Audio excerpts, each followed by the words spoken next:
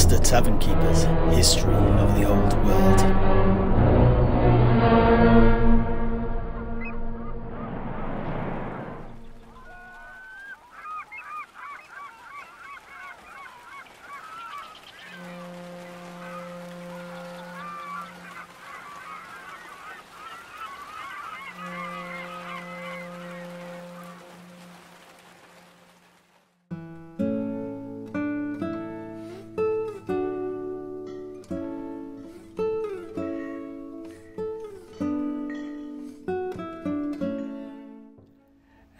Anyway, let us continue. In the aftermath of the death of Khetep, king of Khemri, at the hands of Nekumet, the king of the fleet port of Zandri, Khetep's vizier, Gazid, whom Khetep had apparently forbidden from committing ritual suicide, as we might expect, so that he might uh, help his son, the new king, worked behind the scenes to bring the two rival cities, Zandri and Khemri, to a truce with the former given greater autonomy to oversee its own trading practices and a much reduced tax burden. Nekumet seemed satisfied with this outcome, and like the other city states, Zandri too duly dispatched an honorary delegation to Khetep's funeral. Captured noblemen were returned, but of greater importance to the future, a trio of Druchii prisoners captured at sea were offered up as a sacrifice to tend to the dead king in the afterlife. It is from these that Nagash learned the dark arts and began on the road to creating the new discipline of necromancy. Something we have already spoken of. Oh, yeah, yeah, so we did. Anyway, the new priest king of Khemri, Thutep, received the embassies from Zandri and the other city states of Nehekhara with all due respect and honour, and without recrimination.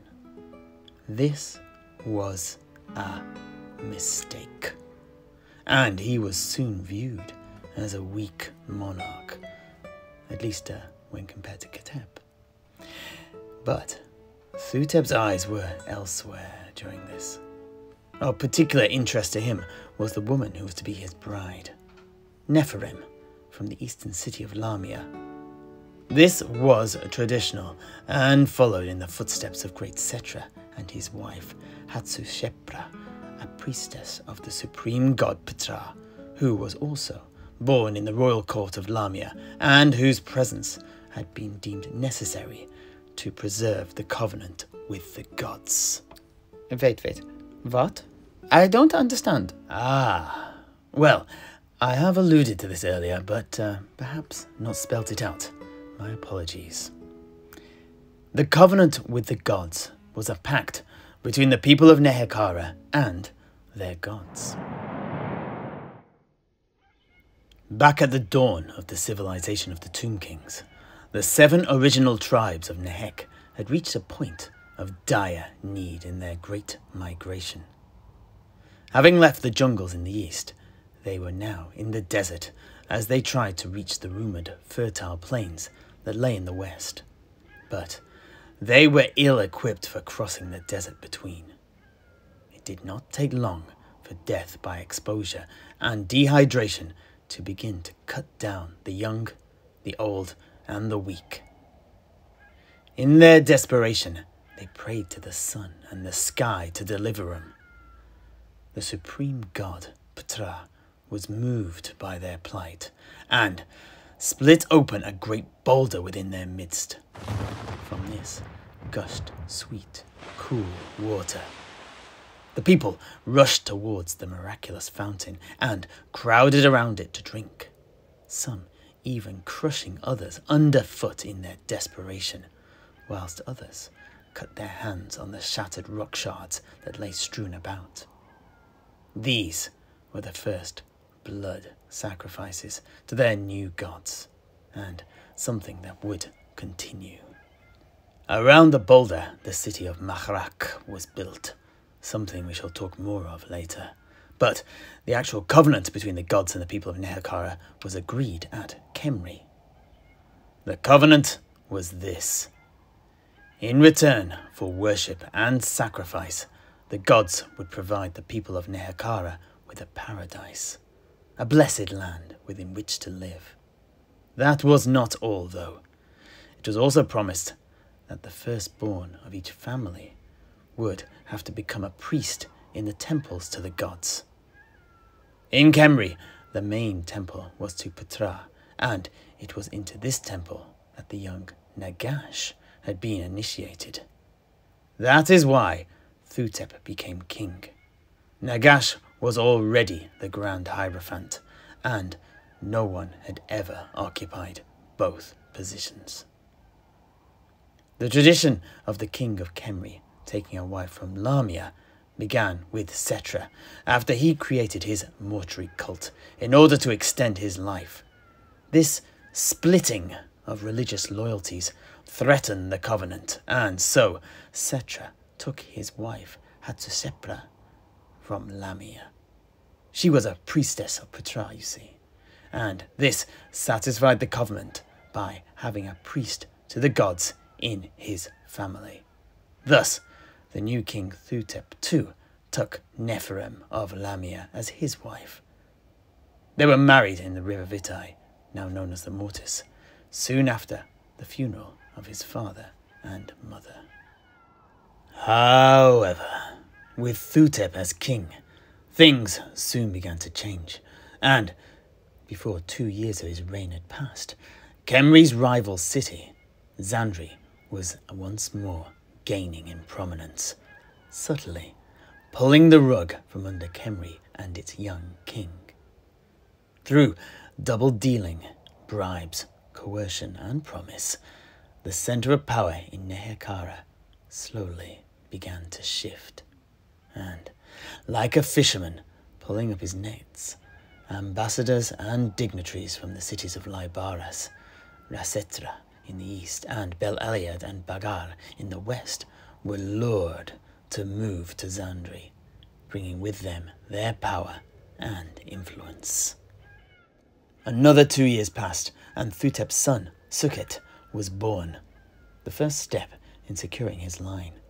But power was already slipping from his grasp as Zandri continued her attempts to eclipse Khemri as the power center of the country. Thutep did not see the changing political landscape, nor the effect his relative inaction was having on both Khemri and the House of Khetep. But his brother Nagash most certainly did, and began to draw up his own plans to preserve the power of the crown. But then, at this point of weakness, when things were already stacked against the city, plague came to Khemri. It ran rampant, striking down rich and poor, master and slave, the bad and the good. It tore through the royal court, leaving many powerful positions vacant.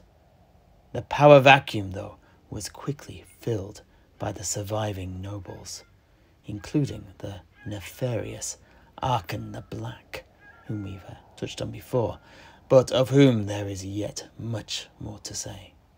Indeed, for all of those that rose through the courtly ranks, all was not as it seemed, as each was already part of a secret cabal formed by Nagash, whose aim was to seize power and restore Khemri to its primacy. Ach, now, that all seems mighty convenient for your man Nagash there.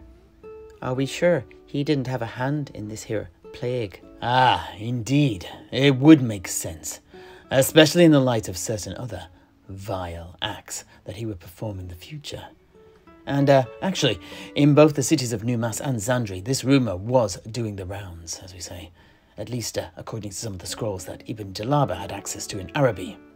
However, this could all simply be the propaganda of rivals. Alas, we will likely never know for sure. Anyway, Nagash, the grand hierophant of the mortuary cult of Khemri, and his cabal continued to slowly extend their power and reach throughout the city over the next seven years, just as Zandri did the same in the other Nehekharan cities. It all came to head 1,959 years before the start of the imperial calendar, nine years after Khetep's death. King Nekumet of Zandri played his hand, and his allies and emissaries convinced the other cities to raise tariffs on all trade with Khemri, dealing a blow to the city that could shake out the wealthiest nobles and merchants and drive them into the arms of Zandri, emptying the pockets of Khemri. This would either be the death knell of Thutep's reign, or drive them into open war with Zandri once more. A war that Nekumet was sure he could win. Soon after, it came to the ears of Thutep that his brother, Nagash, was also plotting against him. Although, as to whether Nagash meant for him to find out at that particular moment is an unknown quantity. But, bearing in mind what happened, it would not surprise me at all. Why? What happened, Master Tavern Keeper? Ah, well, according to some of the uh, later testimonies of servants in the royal palace, the king, accompanied by his Ushabti, the blessed of the gods, and a high priestess of Neru. Ah, yeah, yeah. Neru? You've told us about the uh, gods of the Nehekharans already, but uh, I've forgotten which one was she. Ah, yes, of course. It is quite hard to uh, keep tabs on all these uh, different names. Anyway, she was the consort of the supreme deity, Ptra, and she was the goddess of protection. Not that it did them much good. Thus supported did Thutep confront his brother in order to apprehend and then bring him to trial. But Nagash was having none of this. He immediately obliterated the High Priestess with his unique magical prowess, and then ordered the members of his cabal who had infiltrated the royal court, including Arkhan the Black, to attack and restrain the king. This they did, though many died upon the blades of the Blessed. But through weight of numbers and their magics, each was overcome. Thutep was now at the mercy of his brother. Nagash once more employed his magics to overwhelm the mind of his younger sibling, rendering him unable to resist anything that the sorcerer might do.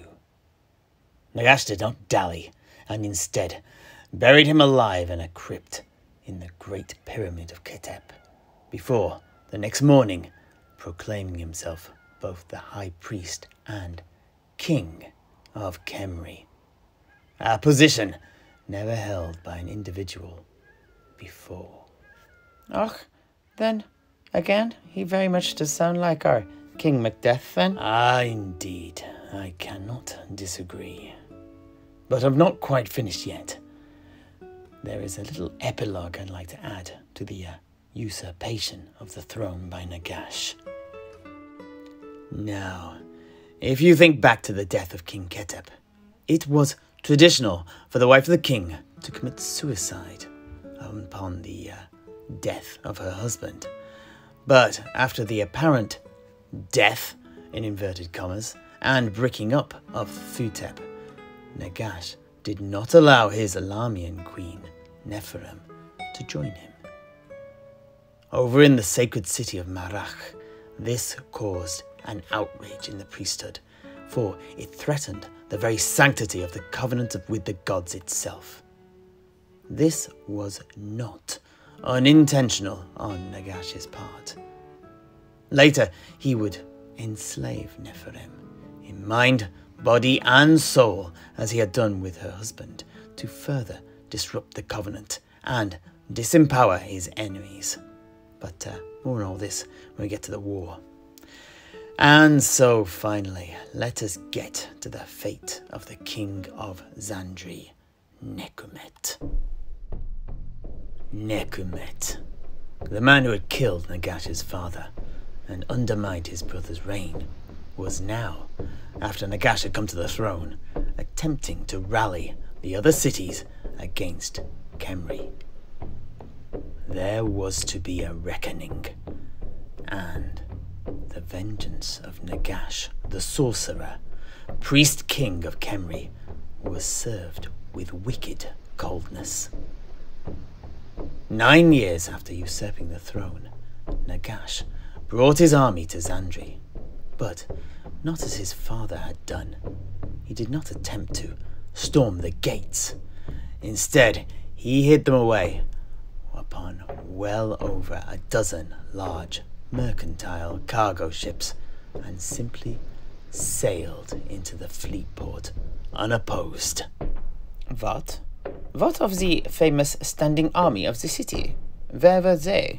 Why did they not defend the population? Ah, they were outside the walls of the city, chasing down the cavalry army of Khemri, uh, led by Arkhan the Black, a most masterful tactician and the newly appointed vizier of Nagash. Anyway, what followed within the city walls was three days of unbridled slaughter and rapine, which left the streets red with blood and the buildings black with flame. Everything of value was hauled away back to Khemri, and those not killed were taken as slaves, both nobleman and artisan alike. No resource was left untapped. Nagash then marched his army out of the east gate in search of Nekumet and his army, who had been engaged by Arkhan the Black's cavalry. And so, the army of Zandri was caught, and their allies from the north fled after being assailed by spectral visions and doom laden portents. Their loss left Nekumet little choice but to surrender. These survivors, too, were also sent into slavery, and the king himself sent back to the shattered shell of Zandri, wearing only a sackcloth and riding a diseased mule. It pleased Nagash, the necromancer, no end. He always had a twisted sense of justice and punishment more akin to a vindictive god of the underworld than the sensibilities of a mortal. But let us leave his story here for now, and talk of the other cities of Nehekhara in the run-up to the war.